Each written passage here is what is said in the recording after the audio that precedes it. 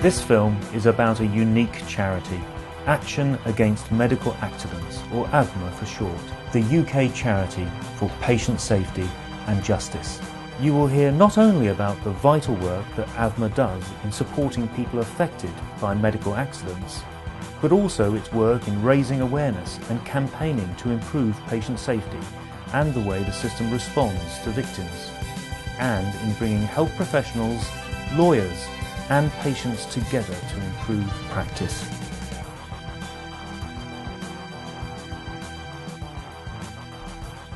Error in healthcare is quite common. Something like one in ten people admitted to hospital uh, suffer some form of error, not all of it serious, of course, but on a scale which wouldn't be acceptable in other high risk industries. Paul was, um, he was in hospital. He had um, non-Hodgkin's lymphoma. He was being treated um, with chemotherapy. Um, he had a suspected fungal infection and he was um, given amphotericin. He was given a massive overdose of that drug and died as a consequence to that. I later found out about the overdose and um, just couldn't believe that this could possibly ever happen. Um, since Paul's death, there has been a number of other deaths due to drug overdoses, and uh, my aim is to try to prevent this from ever happening to families again. I approached AVMA very shortly after my father's death in 2006. Early in 2006, my, my father died most unexpectedly when we took my father in as an emergency patient.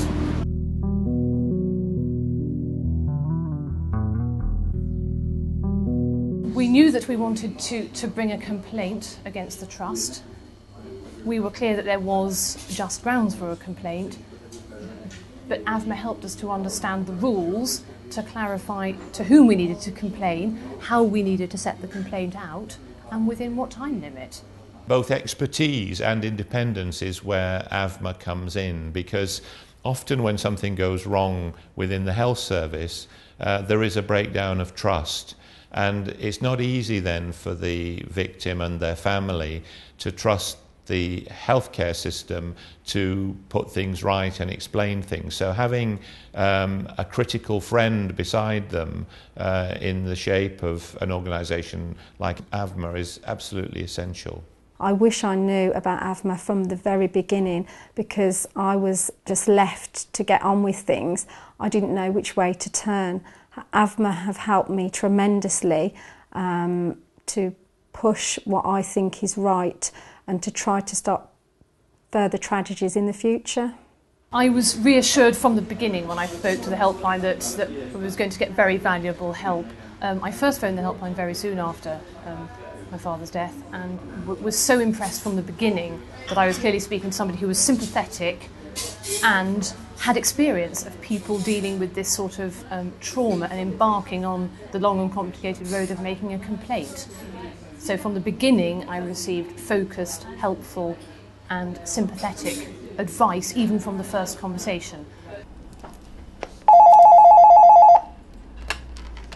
Good morning, Action Against Medical Accidents. How may I help you? The helpline is very important because it could very well be the first port of call for a patient or their families to get in touch to find out as to what their rights are and what they can do.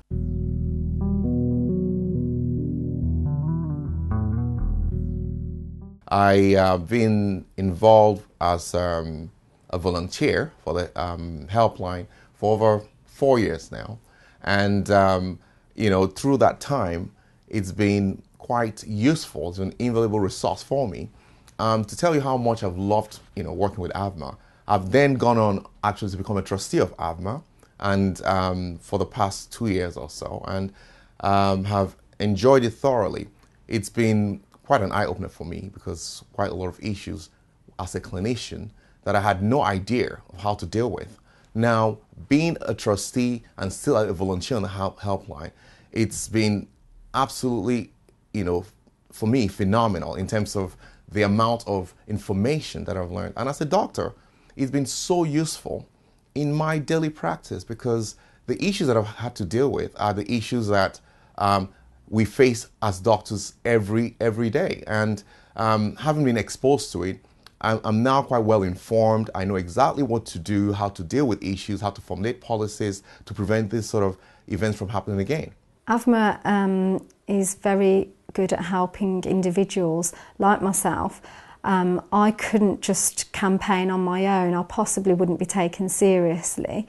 You need an organisation that deals with um, tragedies, patient safety, um, to help um, get the get your voice heard. Because on your own, nobody's going to take no notice, and you need an organisation like AVMA to help people take you seriously.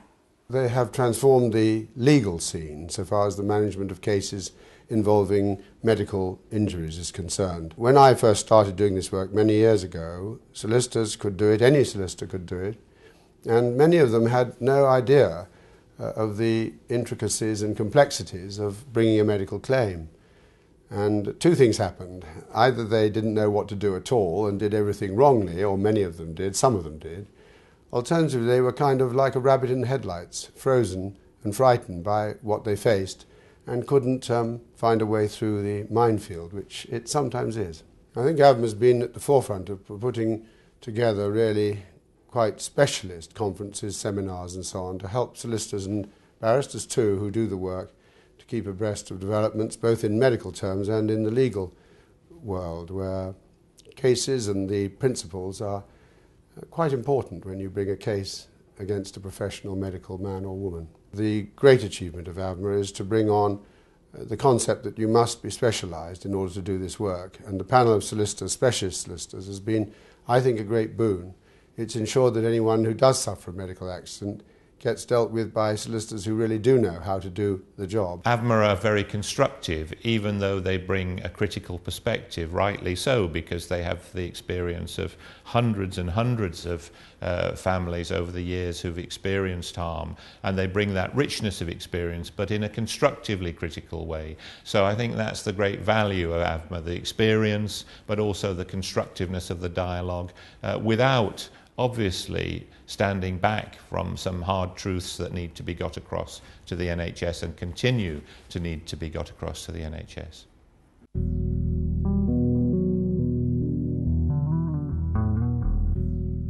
Vitally important that, that AVMA has a, a profound voice and a role in promoting patient safety generally. I'm conscious and impressed with how often AVMA delves into issues which have patient safety, clinical negligence implications, looks critically at any current development in this area, takes a position, investigates thoroughly, publishes a useful position paper on the website and, and has a voice that, that influences government, influences parliament, influences other decision makers. Issues like the amendments to the complaints system, which I'm conscious has been a live issue over recent years.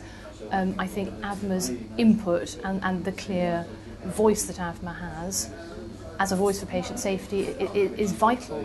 If I can try to make positive changes come out of Paul's death and stop just one person from going through what we're all going through, then that's what I want to achieve. If you believe in patient safety and justice, perhaps you could support the work of AVMA.